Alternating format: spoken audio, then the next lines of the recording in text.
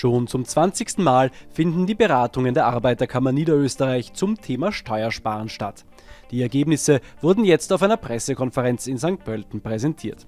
Neu ist seit dem Vorjahr, dass die AK-Mitglieder nicht nur zu Steuersparwochen beraten werden, sondern gemeinsam mit der AK das ganze Jahr darüber drauf schauen können, dass mehr Geld im Börsal bleibt.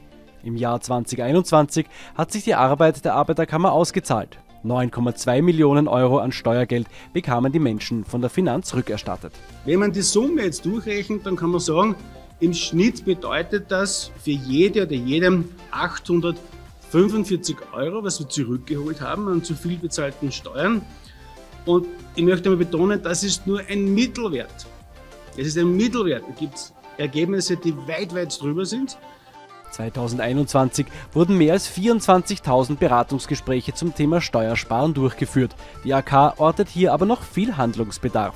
Die Niederösterreicherinnen und Niederösterreicher lassen jährlich, und das muss sich wirklich auf der Zunge zergehen lassen, Dutzende Millionen Euro beim Finanzamt liegen, beim Finanzminister.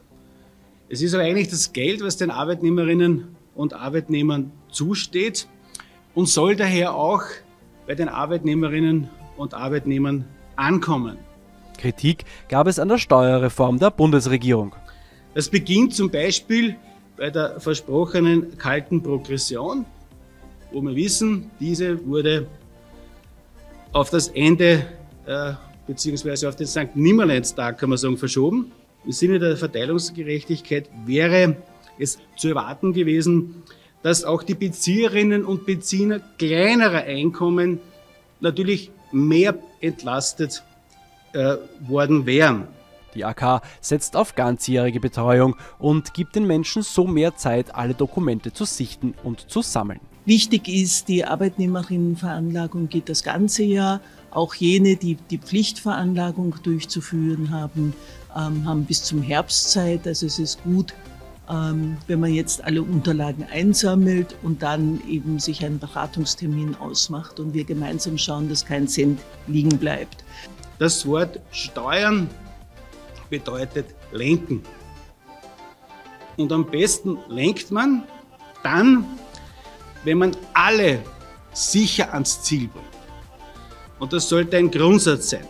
Und ganz besonders geht es uns natürlich hier um die Arbeitnehmerinnen und Arbeitnehmer Niederösterreichs, die schon immer, aber gerade jetzt, in den letzten Jahren bewiesen haben, dass sie die wahren Leistungsträgerinnen und Leistungsträger Niederösterreichs sind und die unser Land am Laufen halten.